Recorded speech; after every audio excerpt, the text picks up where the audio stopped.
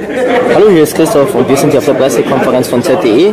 Hier wurde gerade das ZTE Grand S vorgestellt. Das Grand S ist ein neues 5 Zoll Smartphone bzw. Smartlet mit einem Full HD Display. Allerdings ist es das dünnste Smartphone mit nur 6,9 mm. Wie auch die anderen besitzt es einen Qualcomm Snapdragon S4 Prozessor, der allerdings mit 1,7 GHz getaktet ist. Weiteres befindet sich 2 GB Arbeitsspeicher und ein schönes Unibody Design mit einem Floating Display. Das heißt, ihr seht hier, das Display wird über dem Unibody-Gehäuse herausstehen, ist aber trotzdem Milli, äh, Gorilla Glas.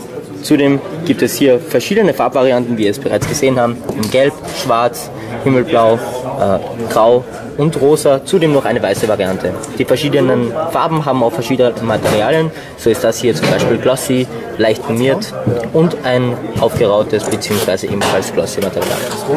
Das 13 die 13 Megapixel Kamera hat eine Sony Linse, die ebenfalls HDR Video HDR bietet im Videobereich, das heißt Full HD Videos und eben eine sehr gute Bildqualität. Das Gerät läuft mit Android Jelly Bean in der Version 4.1 und einer eigenen Oberfläche. Ich kann das hier entsperren. Long Press. Long Press. Sowie haben wir hier noch touch-sensitive Buttons, die allerdings momentan nicht beleuchtet sind. Könnte gegebenenfalls aber in der finalen Version sein.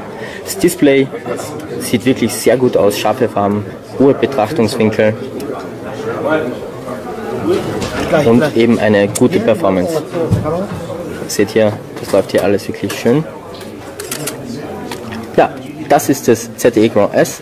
Wann es nach Deutschland kommen wird, ist fraglich. Momentan ist ein Start für das ZTE Grand S in, in China und in den USA geplant. Das war's. Ich sage danke fürs Zusehen und bis zum nächsten Mal.